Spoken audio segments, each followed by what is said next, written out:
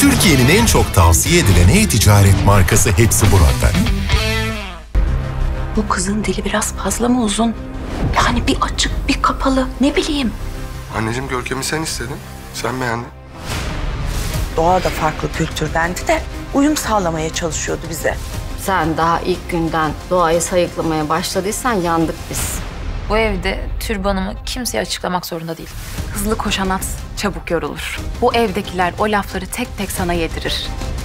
Kimse benim evimde at koşturamaz. İspiyon vakti mi? Artık karşısına iyi biri çıksa da mutlu olsa. Hayattan bitti dediğin yerde yeniden başlar. Senin bana karşı duyguların olduğundan bahsetti de. Ona çok güveniyorum. Bir şey olmayacağını biliyorum yani. Bu zaman ne yani ya? Sen anlamadın mı? Yani hissetmedin mi? Bilmiyor muydun? Biliyordum.